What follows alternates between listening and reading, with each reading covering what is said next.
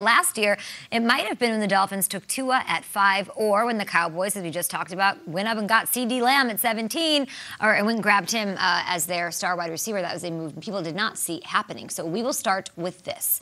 The point in the first round where you think the draft gets a little weird is what? I think seven is to me the the real weird moment, and seven because the Detroit Lions are on the clock. The Lions have the seventh pick. They can take a player. It could be clean. It could be okay. Let's go. Or the Lions who only have six picks this year and on a complete rebuild with mm-hmm. a new coach and a new GM, they could trade back. And I think seven's interesting because there might be one or two of those quarterbacks still on the board. I think number seven, Detroit, which is around, let's say, 8:45 p.m. Okay. Eastern. A little crazy. Thursday night. That's when things get a little bit crazy, a little bit weird, and we start seeing the flurry of trades. I'm going to say seven, seven, to Detroit. Yeah. All Too right. late? What do you think? Kind of a wait, Peter. A little bit of a wait. I don't want to wait that long. um, I got something that I, am not sure if it's a possibility.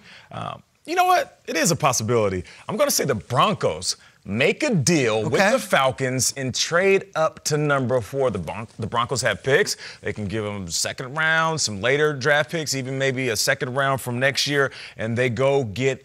Um, they go get a QB. Which they go one? get a QB. They go get Justin Fields okay. and make it real interesting in that quarterback room. I know we're looking at the Falcons saying Kyle Pitts, Kyle Pitts, Kyle Pitts. But listen, maybe they're looking at Kyle Pitts saying, Kyle Pitts is Julio Jones, and we already have Julio Jones. Mm-hmm. So let's just will and deal and set ourselves up for the future because over the next couple of years, they're going to be in the quarterback business. Okay. So Broncos trading up to number four and getting Justin Fields. Nate, that's nice. my kind of answer. Like, you feel? We've heard Spice this craziest draft. That we can't wait till seven. Seven. Yeah, uh, around 21 when the Colts are on the clock, it'll get interesting because yeah, I, look, I got the, I got the same deal.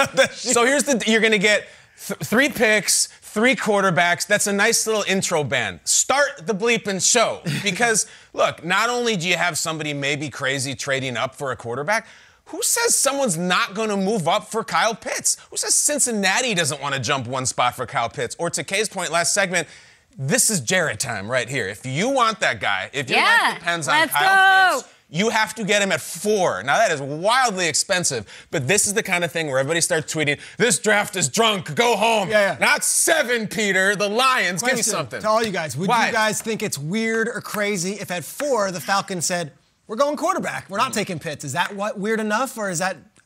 he goes, "No, no, no. You can't. You can't." I like that.